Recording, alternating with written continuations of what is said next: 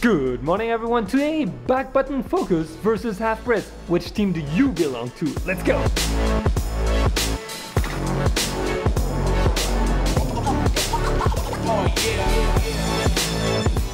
Alright guys, uh, welcome to a new episode and happy holidays. I hope you had a blast for Christmas and you're all ready to shoot again. Guys, I know, I know, I know, on the most popular video, the 7 secrets to taking sharp photos for the rest of your life, uh, I know that's a pretty cool title, uh, you guys let me know that I forgot to mention something very, very important, which is back button focusing.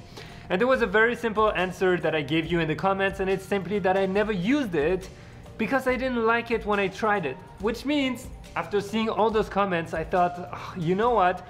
There must be something behind it. How come so many of you are suggesting I use it? Well, today I'm gonna challenge myself to actually use only back button focusing the whole day and I'm gonna share my experience with you and what I feel, how I feel about it, and if I like it or not. But first, before we get started, I want to explain to those of you who don't know what back button focus is, what it is. Let's go. Alright, so guys, there is something to know and there are two methods you can use to focus in life and with your camera.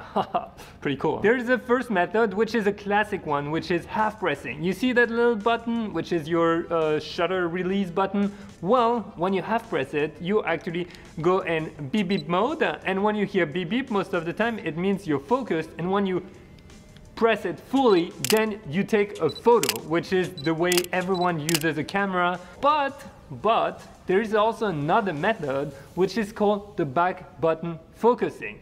And back button focusing, as its name indicates, is pretty straightforward. I mean, it's there's a back button to focus. So the back button is, for example, here on your camera, you set it as the button you're gonna press to focus. And then uh, instead of having a half press here, your half press does nothing at all. So it means you're gonna have to hammer the shutter fully every time you want to take a photo. So for example, you would be pressing at the back and then pressing that shutter. That is back button focusing. Now you might be wondering, well Pierre, why would I use two buttons when I can use only one?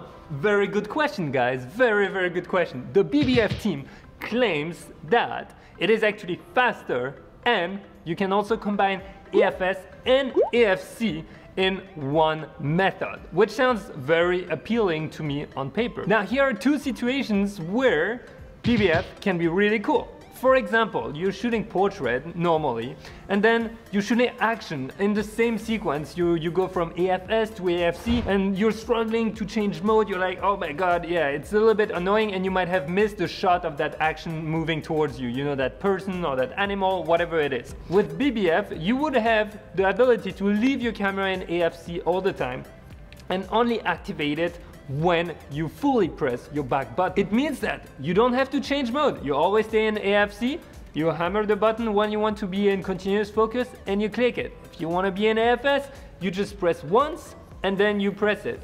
Second advantage, and this is something I use a lot, it's called Focus Recompose. Made a video on that, you can check it out. Uh, basically, you don't have to worry about focus recomposing where you have to half press, lock it, and then recompose. Nope, you press once, you release, and then you can recompose however you want, as long as you want, as long as your subject is not coming closer to you. It's really cool. Uh, it actually removes a button even law or something to think about when you recompose. Great on paper. Now, personally, I knew about it in the past, but I never used it because it felt a little bit clumsy. I didn't like it on my previous camera.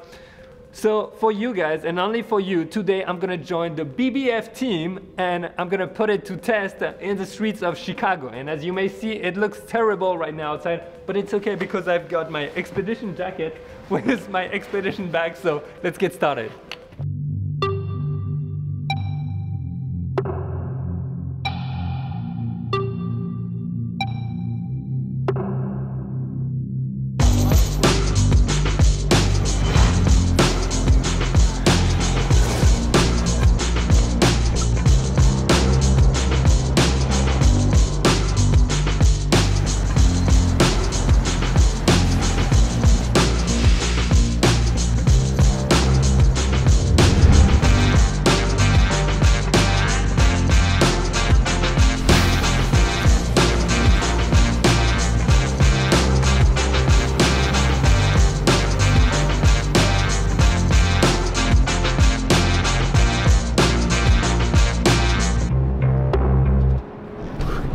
Alright guys, conclusion right now. I mean that's halfway. First, I really need gloves, photography gloves, because I'm freezing. So if you have recommendations of like cool brands, let me know in the comments. Also, I want to say I've been shooting, so in back focus mode.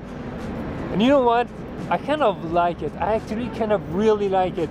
There is something I really love is that uh, what everyone talks about is being able to switch from autofocus continuous to single super quickly, but also having the focus kind of manual where you don't really need to do focus recompose and hold the button anymore.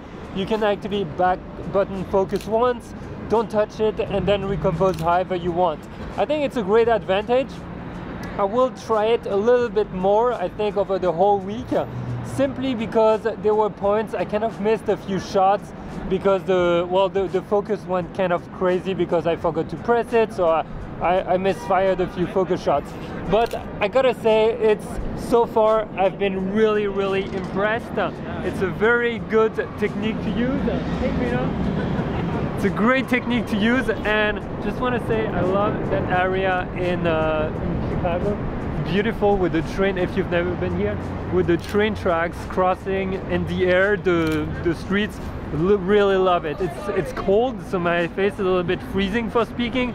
So just give me a sec. It's funny because I need to do a few mouth exercises just to bring it back to work properly with the with the cold. But yeah I really like it. I did miss a few shots and I think it might be a little bit less fast than shooting with a half press because when you half press, imagine there is something happening, you just grab your camera and you hammer the shutter button, it's gonna work, you're gonna have focus. But with the back button, you might have missed the shot. So I will experiment and depending on my findings and how I like it over the weeks, uh, I think I will adopt it or I will reject it. But right now really love it so thanks for all the recommendation guys. If you've never tried it i highly recommend you to try it. If you don't know how to do it you can do a little google on your camera model how to back button focus the uh, settings for back button focus on i don't know canon nikon sony whatever it is. With that being said guys i hope you're having a great christmas. I hope uh, you're enjoying some time with your family and you're preparing the new year's as uh, you should. Wow, it's really loud. Look at that. I love this train. It looks so, so cool. The best thing, in my opinion, being shooting under the train tracks. Looks great. With that being said, guys, I'm gonna wish you happy uh, holidays, happy end of the year, all that. Uh, I hope you've planned your resolution for 2019, what you're gonna be focusing on. Check out the other video if you don't know what I'm talking about. Uh, but really really take uh, that opportunity to set yourself right for 2019 and enjoy your time with the people you love. I will see you in the next episode. Remember if you're new to this channel please subscribe. Make sure you hit the SUBC button. Ring that notification bell. It's gonna make a huge dong. It's gonna be awesome. I'm making those videos all around the world. I'm a travel adventure photographer so I'm sure you I mean you you have to subscribe. It's it's just awesome. Awesome adventures together guys. With that being said I will talk to you in the next episode. Get out there go shoot try something different try something new. Bye. Good morning everyone. Wow I can't see anything. Good morning everyone. Today we're talking about the war between back button photos photos photos Guys, guys, guys, I just finished editing the video and I realized I hit 40,000 subscribers. So I wanted to thank each and every one of you. I know you guys are behind the keyboards. I know you guys are behind your phones watching all that. Thank you so, so much for the support. And if you ever have any suggestion of cool videos, what stuff you want to see more, let me know in the comments. And also make sure you hit up the podcast because uh, I think it's another way also for us to discuss in a different uh, manner. Basically, it's a little bit longer. I do a lot of interview with other photographers, other creators, and I think there is a lot of value for you guys also over there. And you can listen when you're on your way to work or when you're cooking when you're bored at work also that that works it can be discreet.